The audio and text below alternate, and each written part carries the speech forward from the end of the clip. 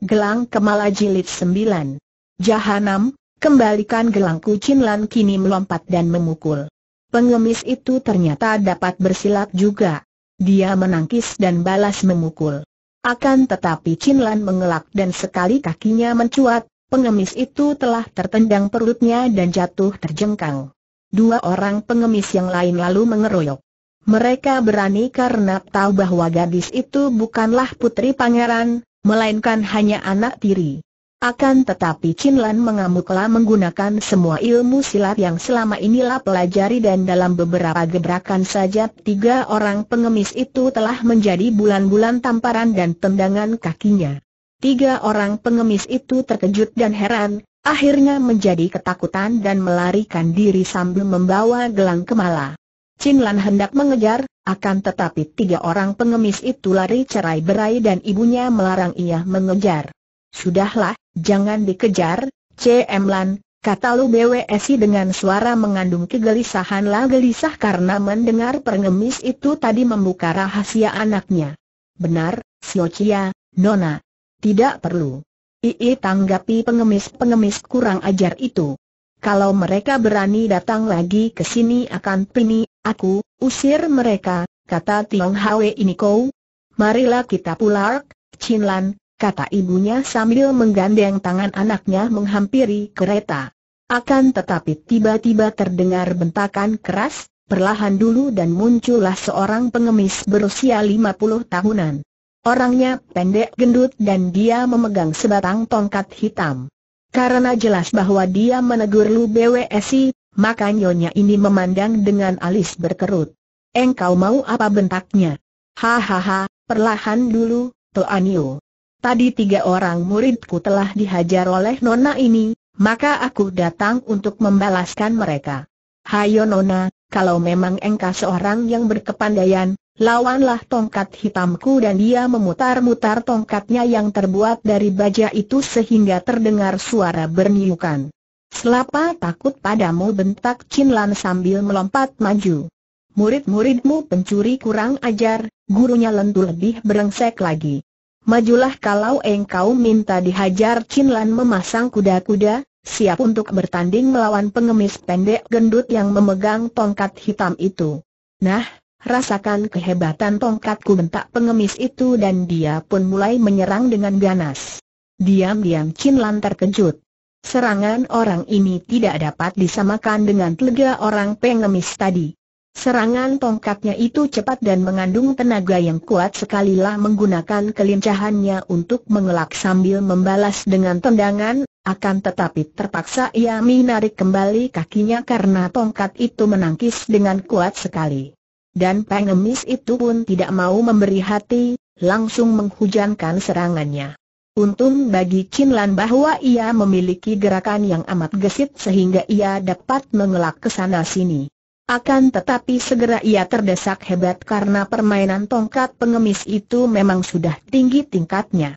Suara angin berdesir menyambar-nyambar dan biarpun sampai belasan jurus Cinlan mampu mengelak dan tubuhnya berkelebatan di antara sambaran tongkat, namun ia sudah terdesak mundur dan kalau pertandingan itu dilanjutkan bukan tidak mungkin ia akan terkena pukulan tongkat.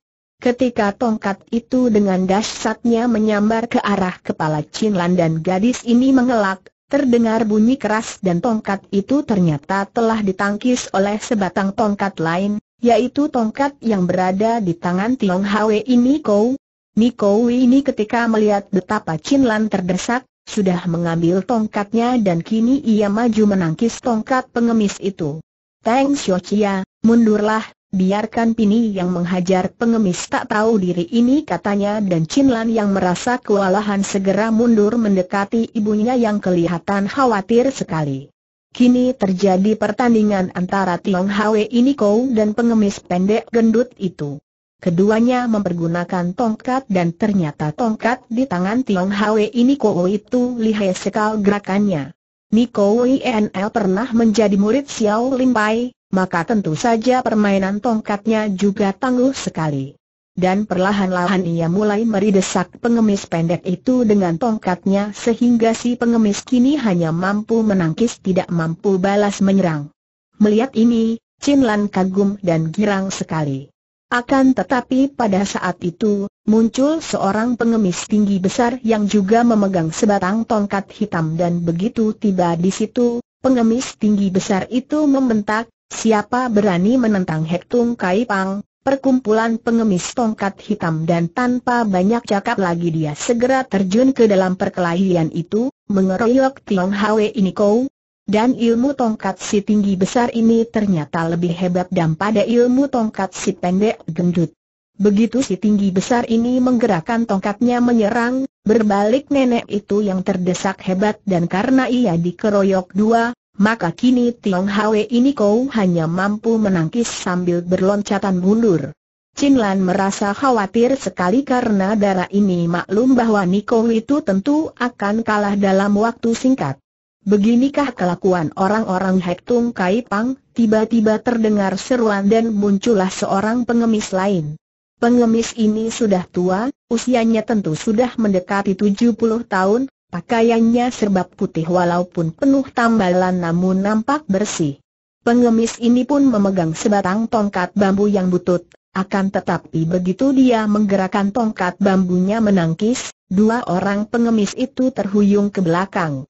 Pengemis tia berbaju putih itu lalu memberi hormat kepada Tiong Hwe ini kau, maafkan dua orang pengemis yang tidak tahu diri ini dan biarkan aku yang tua memberi hajaran kepada mereka adapun dua orang pengemis tongkat hitam menjadi marah sekali melihat munculnya pengemis baju putih yang sama sekali tidak mereka kenal. Si tinggi besar maju dan menudingkan telunjuk kirinya. Engkau ini pengemis macam apa? Tidak setia kawan membantu sesama pengemis malah menentang kami. Apakah tidak tahu bahwa kami dari Hak Tung Kai Pang di Kota Raja dan sekitarnya menjadi pimpinan para pengemis-pengemis tua itu tersenyum. Ingin aku melihat bagaimana sikap ketua kalian kalau melihat sikap dan mendengar suara kalian ini. Sebagai pengemis yang pekerjaannya meminta belas kasihan orang lain, kenapa kalian menggunakan kekerasan? Kalau pengemis menggunakan kekerasan, apa bedanya dengan perampok? Ketahuilah, hai pengemis yang tidak tahu diri. Penggunaan kekerasan tidak menguntungkan, bahkan akan mencelakakan diri kalian sendiri. Hayo cepat berlutut minta maaf kepada Niko ini dan juga kepada Toanio dan Xiaochia itu pengemis tua busuk. Kau tidak tahu siapa kami, ya? Kau pantas dihajar bentak si tinggi besar dan bersama si pendek gendut dia lalu menyerang kalang kabut kepada pengemis baju putih. Akan tetapi pengemis baju putih ini berdiri tegak saja dan ketika dua orang penyerangnya sudah menerjang dekat, perlahan pula dia menggerakkan tongkatnya akan tetapi sungguh aneh, tongkatnya itu dapat mendorong kedua orang itu sehingga terjengkang. Dua orang itu meloncat bangun dan menyerang lagi, akan tetapi kembali mereka terjengkang karena dari tongkat bambu itu keluar hawa yang amat kuat mendorong mereka. Untuk ketiga kalinya mereka bangkit dan menyerang, akan tetapi makin hebat serangan mereka, makin hebat pula mereka terlempar dan akhirnya mereka tidak berani lagi menyerang, maklum bahwa mereka berhadapan dengan orang pandai. Mereka hendak melarikan diri, akan tetapi kakek berpakaian putih itu menggerakkan tangan seperti menggapai dan mereka jatuh tergulingan lagi. Sebelum minta ampun kepada Niko, Pinto dan Xiaochia, jangan harap kalian akan dapat meninggalkan tempat ini, kata pengemis tua itu. Akhirnya dua orang pengemis Hek Tung Kai Pang itu berlutut dan minta ampun kepada Tiong Hwe Niko, Lu Bwe dan Teng Chin Lan, mengangguk-anggukan kepala seperti dua ekor ayam mematuk gabah padi. Nah, kalian berdua ingat baik-baik. Jangan membiarkan anak buah kalian melakukan perbuatan jahat, terutama sekali jangan menggunakan kekerasan. Lain hari aku akan bertemu dengan ketua kalian untuk menegurnya. Apakah kalian ingin dibasmi oleh pasukan pemerintah? Atau setidaknya dibasmi oleh para pendekar? Nah, pergilah dan jangan ulangi perbuatan kalian dua orang pengemis itu memberi hormat dan segera pergi tanpa banyak cakap lagi. Orang-orang yang menonton pertandingan itu menjadi gembira dan kagum. Para pengemis Hek Tung Kai Pang memang suka mengganggu orang, terutama para wanita. dan mereka itu agaknya tidak takut terhadap para petugas penjaga keamanan, karena mereka itu merupakan orang-orang kepercayaan dari Pangeran Bian Kun. Karena adanya Pangeran Bian Kun yang selalu membela mereka, maka para anggota Hek Tung Kai Pang menjadi besar kepala dan setiap kali para petugas keamanan bertindak keras kepada mereka, tentu petugas keamanan ditegur keras oleh Pangeran Bian Kun. Kini, melihat dua orang tokoh Hek Tung Kai Pang dihajar oleh seorang pengemis tua yang menasihati agar mereka tidak menggunakan kekerasan melakukan kejahatan, tentu saja para penonton itu menjadi gembira sekali. Chin Lan juga kagum sekali melihat kesaktian pengemis tua baju putih itu. Ia mendekati Tiong Hwe ini Kou yang sudah dikenalnya dengan baik. Sukou, bisiknya. Aku ingin sekali belajar ilmu silat dari Lo Po itu. Tanyakanlah kepadanya, Sukou, tolonglah, Niko itu tersenyum dan mengangguk, lalu ia menghampiri pengemis itu dan memberi hormat. Terima kasih banyak atas bantuan Lo Po. Mohon tanya, siapakah Lo Po dan datang dari mana? Pengemis itu tersenyum. Orang menyebut Kupek, Ilokai, pengemis tua baju putih. Aku sudah lupa akan namaku, maaf, Lo karena Lo Pua sudah menyelamatkan Pini dan juga Toanyo dan Xiao ini, maka Pini persilakan Lo Pua untuk singgah sebentar dan bercakap-cakap di dalam, pengemis itu menoleh dan memandang kepada Lu Bwsi dan Chinlan, kemudian ia mengangguk dan berjalan perlahan mengikuti Niko itu memasuki kuil Kuan Im Liu. Lu Bwsi hendak mengajak puterinya pulang, akan tetapi darah itu malah menarik tangan ibunya diajak masuk kembali ke kuil. Mereka duduk menghadapi meja dengan hidangan tanpa daging dan tanpa arak. Pengemis itu tanpa malu-malu lagi menyantap hidangan yang disuguhkan kepadanya. Setelah selesai makan, dia mengangguk-angguk dan tersenyum. Pada saat itu, Lu Bwsi dan Chin Lan memasuki ruangan itu. Tiong Hwe ini kau lalu bangkit berdiri dan berkata kepada pengemis itu, Lo Chiam Pua, Toanyo ini adalah istri dari Pangeran Teng Gisu dan Nona ini adalah Teng Xiaochia. Nah, Teng Xiaochia tadi melihat kelihayan Lo Chiam Pua dan ingin sekali belajar ungu silat dari Lo Chiam Pua. Pengemis itu tersenyum dan memandang kepada Chin Lan, memandang dari kepala sampai ke kaki dan diam-diam dia kagum. Gadis remaja INL memang berbakat baik sekali. Nona sudah pernah mempelajari ilmu silat sampai cukup baik. Untuk apa ingin belajar lagi Lo Chiam Pua? Biarpun sejak kecil aku sudah mempelajari ilmu silat, akan tetapi buktinya tadi ketika menghadap pengemis titik pendek gendut, aku tidak mampu mengalahkannya. Karena itu melihat kesaktian Lo Chiam Pua, aku ingin sekali menjadi murid Lo Chiam Pua. Harap engkau orang tua tidak menolak setelah berkata demikian, membuat kaget hati ibunya, gadis itu lalu menjatuhkan diri berlutut di depan kakek pengemis itu. Tentu saja Lu BWSI terkejut sekali, akan tetapi ia pun tidak dapat berbuat sesuatu. Melihat putrinya, putri pangeran, berlutut di depan kaki seorang kakek pengemis. Bagaimana kalau hal seperti ini dilihat orang lain? Untung di situ hanya ada ia dan Tiong Hwe ini kau. Pengemis itu mengangkat mukanya dan tertawa bergelak, kemudian dengan tongkat bambunya dia menusuk bawah ketiak kiri Chin Lan lalu mengangkatnya. Chin Lah merasa ada tenaga raksasa tongkat itu yang mengangkatnya lah hendak menguji dan mengerahkan tenaga Sin Kang untuk melawannya akan tetapi tetap saja ia terangkat dalam keadaan masih berlutut. Kakek itu tertawa, hahaha, Sin Kangmu boleh juga, Nona. Chin Lan lalu menurunkan kakinya dan ia bertanya, bagaimana, Lo Chiam Pua sudikah engkau menerimaku sebagai murid aku seorang kakek pengemis perantau, bagaimana dapat menjadi gurumu, Nona? Dan aku pun tidak suka tinggal di rumah pangeran yang seperti istana, terlalu mewah bagiku, tiba-tiba Tiong Hwe ini kau berkata, kalau Lo Chiampu menghendaki, dapat saja melatih Teng Slocia di kuil ini. Bagus, kalau begitu baru bagus juir aku setuju kata kakek itu gembira. Terima kasih, suhu kata Chin Lan gembira. Eh, nanti dulu, Nona. Engkau harus memperoleh izin dari ibumu kata kakek itu, Lu BWSI segera berkata, Kami memang tahu akan kesukaan putri kami dan kami tidak berkeberatan kalau Lo Chiampu suka menjadi guru Cinlan. Wah, semua beres kalau begitu. Nah, seminggu sekali Nona boleh datang ke sini. Selama sehari Nona akan kuajar ilmu silat, kemudian melatihnya di rumah Nona sendiri selama seminggu.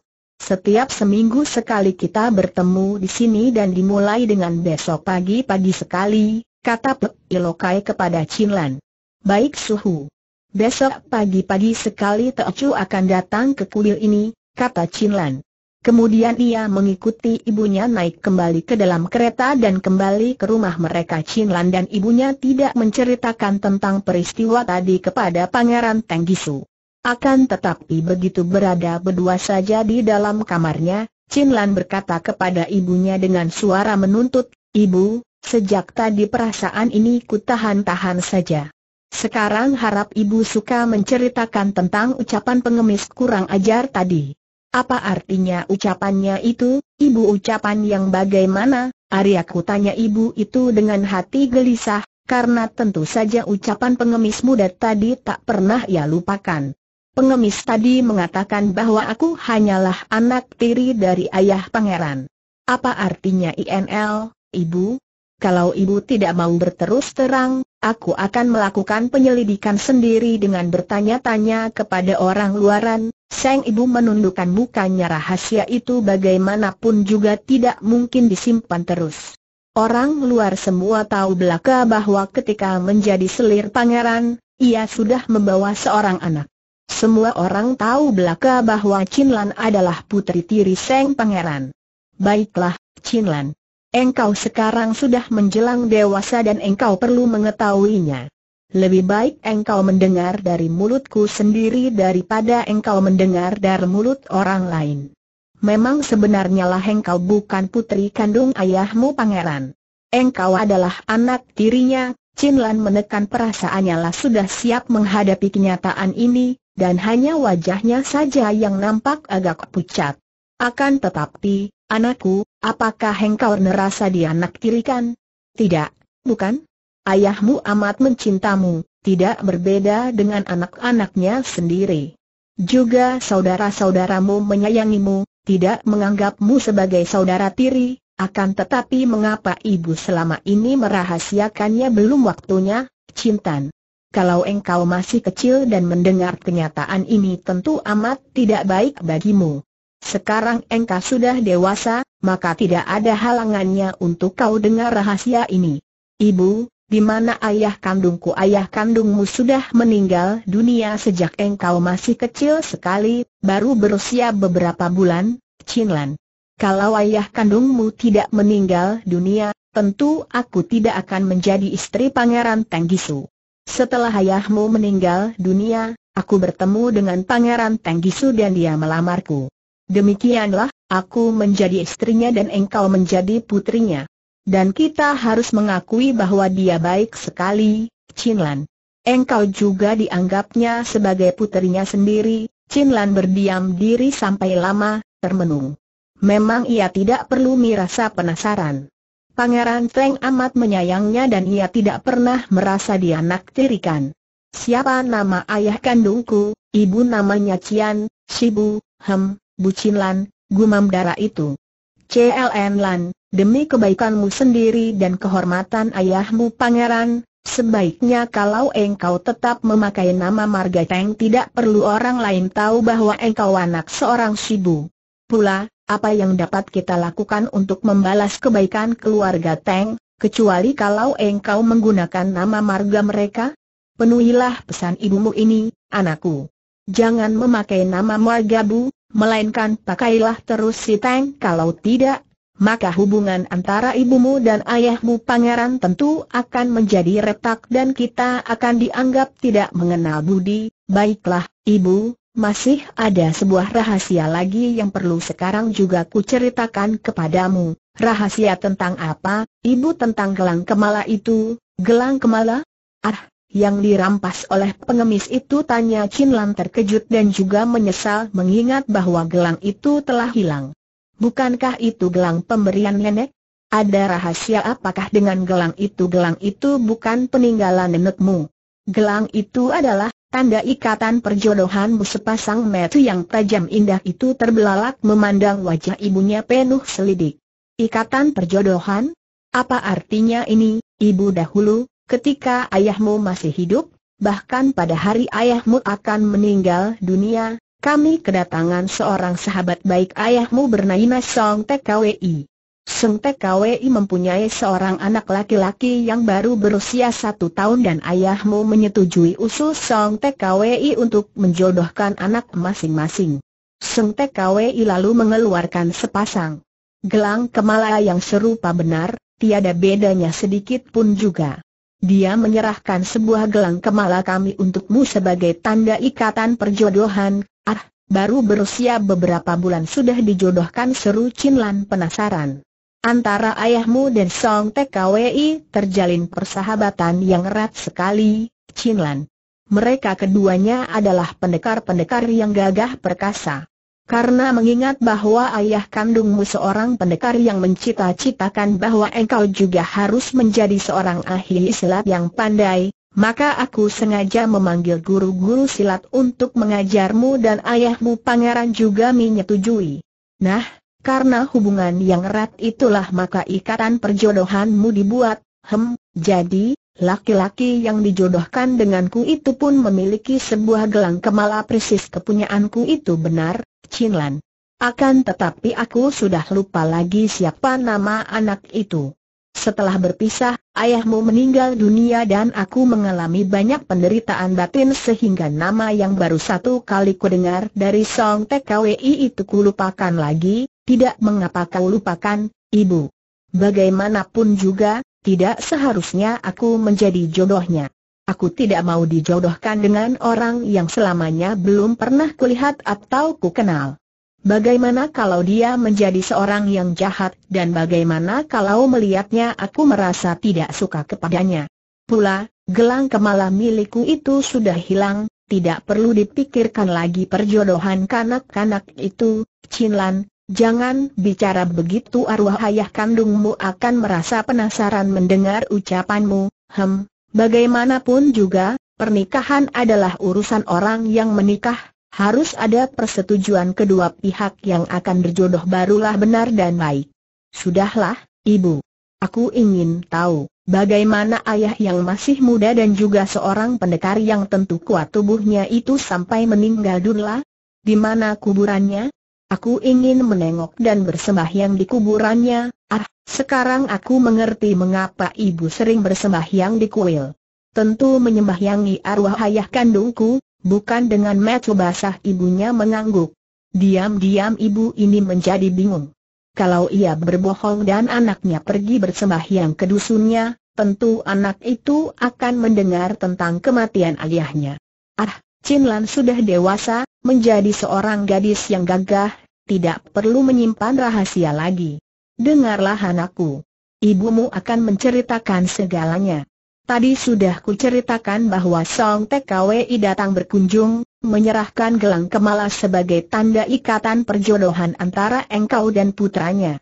Selagi kami bercakap-cakap, terdengar suara ribut-ribut dan datang laporan bahwa ada gadis dipaksa oleh seorang pangeran untuk menjadi istrinya. Ayahmu adalah seorang pendekar, mendengar ini dia lalu berlari keluar diikuti Song TKW yang juga seorang pendekar yang gagah perkasa. Setelah tiba di luar mereka melihat seorang gadis dipaksa naik kereta untuk dijadikan selir seorang pangeran. Ayahmu dan Song TKWI menjadi marah dan mengamuk, merobohkan tukang-tukang pukul pangeran itu bahkan memberi hajaran kepada pangeran matu keranjang yang suka memaksa anak gadis orang. Wah, ayah seorang pemberani yang gagah perkasa kata Chin Lan gembira. Akan tetapi peristiwa itu berekor panjang, anakku. Pada lain harinya, datang pasukan untuk runangkap kami karena ayahmu yang berani memukul seorang pangeran itu dianggap pemberontak. Ayahmu tidak mau menyerah dan terjadi perkelahian. Ayahmu dikeroyok banyak orang dan akhirnya ayahmu tewas. Aku yang sedang menggendongmu juga menjadi tawanan, Ah! Mereka kejam sekali bentak Chin Lan sambil mengepal tinju. Sebetulnya ayahmu terlalu keras hati, CLN Lan. Tentu saja menghajar seorang pangeran dianggap sebagai pemberontak. Dan sudah menjadi peraturannya bahwa keluarga seorang pemberontak harus ditangkap semua. Maka, aku pun ditangkap. Dan pada saat itu muncul Pangeran Tenggisu yang menolong kita. Berkat kekuasaan Pangeran Tenggisu maka aku dibebaskan dan diajak ke rumahnya. Kemudian Dela, dia melamarku. Aku tidak melihat jalan lain. Kalau aku menolak dan aku berada di luar, tentu aku akan ditangkap sebagai keluarga pemberontak. Kalau aku menjadi selirnya, maka aku dan engkau akan selamat dan terlindung. Sungguh mati, pada waktu itu aku hanya ingat akan keselamatanmu, Cinlan. Maka aku, aku menerima pinangannya. Begitulah ceritanya, Cinlan. Hem, Siapakah pangeran yang suka memaksa gadis itu? Ibu BWSI merasa lebih baik tidak menceritakan nama pangeran itu agar puterinya tidak kena lakukan tindakan yang gegabah. Aku tidak tahu namanya, Cinlan. Akan tetapi gadis-gadis yang dipilih itu kebanyakan adalah gadis dusun dan orang tua si gadis malah bangga menyerahkan gadisnya untuk diajak pergi seorang pangeran dan menjadi selirnya, dan di mana ayah dikubur, ibu kami dulu tinggal di dusun Teng Siabun tak jauh dari kota raja dan tentu ayahmu dikubur di sana pula oleh penduduk dusun. Aku sendiri tidak mengetahui karena aku terus ditangkap bersamamu, dan ibu tidak pernah berkunjung ke kuburan itu bagaimana mungkin, anakku? Tentu semua orang akan mengetahui. Tidak, ibu hanya bersembahyang di kuil untuk ayah kandungmu, kalau begitu aku yang akan berkunjung ke sana, Ibu Cinlan, ingat pesanku. Jangan sekali-kali engkau mengaku bukan putra Pangeran Tenggisu kalau engkau tidak ingin melihat hubungan antara ibumu dan ayahmu Pangeran menjadi retak, tidak, Ibu. Dan lagi, apa gunanya kalau aku mengaku Shibu? Lain halnya, kalau ayah kandungku masih hidup, akan tetapi semenjak membuka rahasia itu kepada putrinya, Lu BWESL sering kali merasa gelisah dan khawatir sekali. Mengenai ikatan perjodohan puterinya itulah yang amat menggelisahkan hatinya. Di dalam lubuk hatinya, ingin dia memenuhi kehendak mendiang suaminya untuk menjodohkan puterinya dengan putra Song TKWI. Akan tetapi bagaimana caranya? Bahkan kepada suaminya yang sekarang pun ia tidak berani bicara tentang hal itu. Dan sekarang, gelang kemala puterinya telah hilang, dan bahkan puterinya sendiri tidak setuju dengan ikatan perjodohan itulah hanya dapat menangis seorang diri dan mengeluh kepada mendiang suaminya yang pertama. Duka timbul dari kenangan masa lalu, dan rasa khawatir atau takut timbul dari bayangan masa depan. Kalau kita hanya menghadapi masa kini, saat ini dengan penuh penerimaan, kepasrahan, kesabaran dan ketawakalan kepada kekuasaan Tuhan Yang Maha Kasih, maka segala macam kedukaan dan kegelisahan pasti dapat dilenyapkan oleh kekuasaan Tuhan. Segala kehendak Tuhan pun jadilah. Tidak ada kekuasaan lain yang mampu mengubahnya. Kalau sudah pasrah seperti itu, maka kejadian apa pun yang menimpa diri kita, akan kita hadapi tanpa mengeluh karena kita tahu bahwa kejadian itu sudahlah wajar dan semestinya. Bukan berarti bahwa kita menerima saja segala sesuatu dengan tidak berusaha, sama sekali bukan. Kita berusaha sekuat tenaga namun dengan landasan kepasrahan kepada kekuasaan Tuhan. Dengan iman yang kokoh kuat, mudah saja bagi kita untuk melandasi semua daya upaya kita dengan kepasrahan yang mutlak dan lengkap. Dan Tuhan Maha Bijaksana, Maha Murah. Tuhan lebih dari mengerti apa yang terbaik untuk kita, walaupun bagi pikiran kita yang tidak sempurna akan nampak tidak baik dan Tuhan mengasihi orang yang pasrah dengan sepenuh jiwa raganya kepada kekuasaannya pada keesokan harinya, pagi-pagi sekali, Chin Lan sudah meninggalkan gedung tempat tinggalnya lah mengenakan pakaian yang ringkas dan menunggang seekor kuda yang bagus. Sudah sering kali ia menunggang kuda dan pergi berbun binatang, maka orang-orang yang melihatnya di jalan tidak merasa heran, hanya memandang dengan kagum. Darah remaja yang berusia 15 tahun itu pandai sekali menunggang kuda. tubuhnya tegak dan demikian santainya ia menunggang kuda menuju ke Kuan. Setelah ia tiba di pekarangan kuil, ia menambatkan kudanya di batang pohon dan meloncat turun, Tiong Hwe ini kau, yang sepagi itu sudah bangun dan habis sembahyang membaca doa, lalu keluar menyambutnya, Selamat pagi, Teng Xiao selamat pagi, Sukou. Apakah suhu sudah datang? Sudah, dia sudah menanti di ruangan belakang. Mari engkau langsung saja menemuinya di sana, kata Niko itu dan Chinlan segera memasuki kuil dan langsung menuju ke ruangan belakang. Pek, satu lokai menyambutnya dengan senyum. Bagus, engkau datang pagi sekali, Nona, Suhu, harap jangan sebut Teocu dengan sebutan Nona. Nama saya Teocu Teng Chinlan dan sebagai guruku, Suhu sebaiknya menyebut nama Teocu saja kata Chinlan dengan akrab. Pek Ilokai tertawa. Sebagai seorang putri pangeran, sikapmu sungguh rendah hati, Chinlan. Baiklah, kalau sedang berdua, aku akan menyebutmu Chinlan saja. Akan tetapi pagi ini, Aku belum akan melatih ilmu silat kepadamu, karena aku harus pergi dulu menemui ketua Hektung Kaipang, untuk menegurnya agar dia dapat mengatur anak buahnya agar jangan melakukan kejahatan. Kebetulan sekali kalau begitu, Suhu Teocu juga ingin mencari pengemis nuda yang kemarin telah merampas gelang kemala Teocu.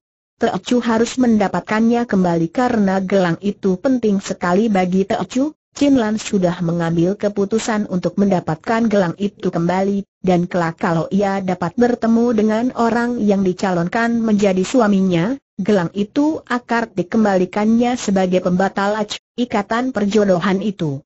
Baik sekali kalau begitu, mari kita pergi bersama. Pengemis tua itu bangkit berdiri dan membawa tongkat bambunya. Suhu, Teocu membawa seekor kuda. Suhu pakailah kuda Teocu itu, tidak, kita berjalan kaki saja, Cinlan. Bukankah tempat perkumpulan Hektung Kaipang itu tidak terlalu jauh dari sini? Tidak, suhu. Tempatnya berada di sudut kota, nah, kita berjalan kaki saja. Marilah mereka berdua keluar dari kuil dan ketika bertemu dengan Tiong Hwe ini Kofi mereka berdua berpamit kepada Niko itu. Chin Lam tidak mempedulikan pandang mata orang-orang yang ditujukan kepadanya dengan heran melihat ia putri seorang pangeran, berjalan bersama seorang kakek pengemis yang bertongkat bambu butut. Rumah perkumpulan Hektung Kaipang itu cukup besar, merupakan sebuah gedung yang besar. Hal ini tidaklah mengherankan karena perkumpulan pengemis ini akhir-akhir ini berpengaruh dan terutama sekali semenjak Pangeran Yan Kun berhubungan dekat dengan ketuanya, maka pangeran itulah yang memperkuat perbendaharaannya sehingga perkumpulan itu dapat membangun sebuah rumah yang cukup besar. Apakah sebenarnya hubungan antara Hek Tung Koai Ong, Raja Pengemis Tongkat Hitam, ketua dari perkumpulan itu dengan Pangeran Yan Kun yang besar kekuasaannya? Sebetulnya, Hubungan itu dimulai ketika Pangeran Yan Kun beberapa tahun yang lalu terancam bahaya ketika serombongan pendekar hendak membunuhnya karena pangeran ini merebut putri seorang pendekar sehingga putri itu kemudian membunuh diri, memilih mati daripada ternoda oleh pangeran itu. Ketika pangeran itu terancam bahaya maut, Hek Tung Kai Ong muncul dan menolongnya. Karena pertolongan ini, Pangeran Yan Kun menghargainya, bahkan menganggap ketua itu sebagai seorang jagoannya. Dan bukan hanya itu, dia juga menyerahkan puteranya yang bernama Bian Ho untuk menjadi murid Hek Tung Kai Ong. Sebetulnya, Hek Tung Kai Ong bukanlah seorang jahat, walaupun wataknya kasar dan pemarah. Kalaupun anak buahnya kini bertindak sewenang-wenang, itu terjadi di luar tahunya. Para anak buahnya merasa sombong karena perkumpulan mereka seolah dilindungi oleh Pangeran Yan Kun, maka mereka bertindak sewenang-wenang. Kalau ketua mereka mengetahui akan hal itu, tentu dia akan marah sekali karena Hek Tung Kai Ong adalah seorang yang tergolong datuk dan tidak pernah melakukan perbuatan sesat. Ketika Chin Lan dan Pek Ilokai tiba di depan rumah gedung perkumpulan Hek Tung Kai Pang, yang berjaga di depan segera mengenalnya. Berita tentang dihajarnya tiga orang anggota Hek Tung Kai Pang, bahkan kemudian dihajarnya dua orang pimpinan mereka, yaitu murid-murid dari ketua mereka, sudah mereka dengar dan kini mereka dapat menduga siapa adanya gadis cantik dan kakek pengemis berpakaian putih itu. Maka, mereka mengambil sikap bermusuhan dan sudah siap dengan tongkat mereka mengepung. Jumlah mereka ada belasan orang.